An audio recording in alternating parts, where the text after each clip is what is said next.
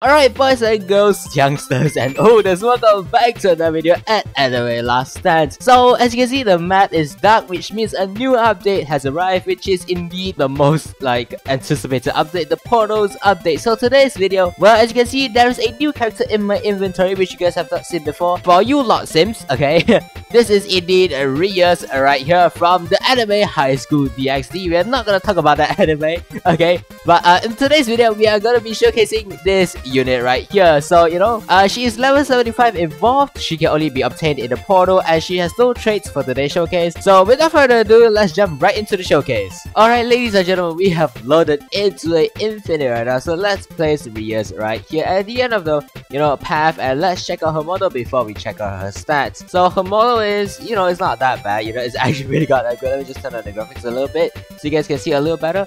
You know, actually is not that bad. It's actually pretty goddamn cool. You got that fiery red and uh, black aura. Pretty goddamn sick, okay? Alright, so her place down stats for a level 75 with no traits is 3.3k damage, range 16, cooldown in 6 seconds with no crit damage. Her effect is basically her shooting a beam Okay, but then her AoE is actually a cone for a matter of fact, and then her effect is actually pretty goddamn sick. I'm not gonna lie to ya.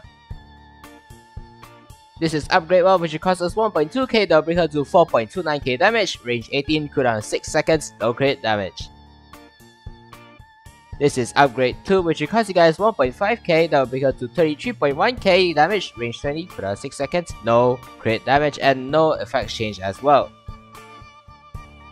This is upgrade 3 which will cost you guys 3.5k that will bring her to 31.1k damage, range 35, cooldown 6 seconds. There's a effect change and a AoE change. So her AoE has changed to a light AoE with a effects of uh, the, I, I don't know what just happened. okay, let me just see it again. Basically a, uh, a line. Yeah, basically just a line to be honest. it's not much to see really. Anyways, moving on. This is upgrade 4, which costs you guys 6k that will bring her to 37.6k damage, range 25, cooldown 6 seconds, no AoE change yet, no effect change yet, and no crit damage. This is upgrade 5, which will cost you guys 8k that will bring her to 45.8k damage, range 25, cooldown 6 seconds, no effect change, no AoE change, alright? So,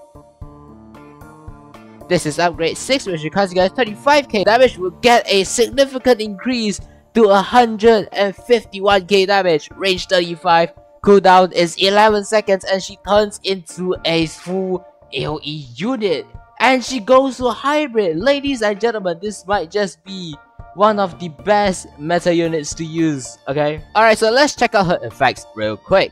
So her effect is basically her summoning 5 to 4 beams, I think so if I did not see wrong, into the ground causing a big amount of AoE damage, I guess. Okay, so moving on.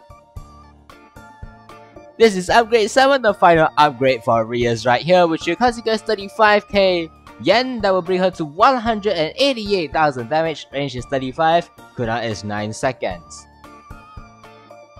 So her range with idle buff will be uh, revealed in a sec. So her range for idle buff will be 40.2. It has a, a bigger, you know, full AoE circle.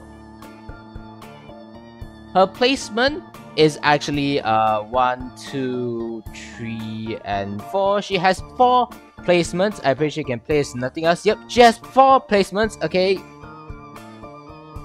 So judging from her 4 placement, her DPS from each is 188k. We'll take that and times 4 because she has 4 placements. That will bring her to 752,000 damage with a full AoE hybrid. Ladies and gentlemen, do you know how insane this stat is? It's actually pretty goddamn good.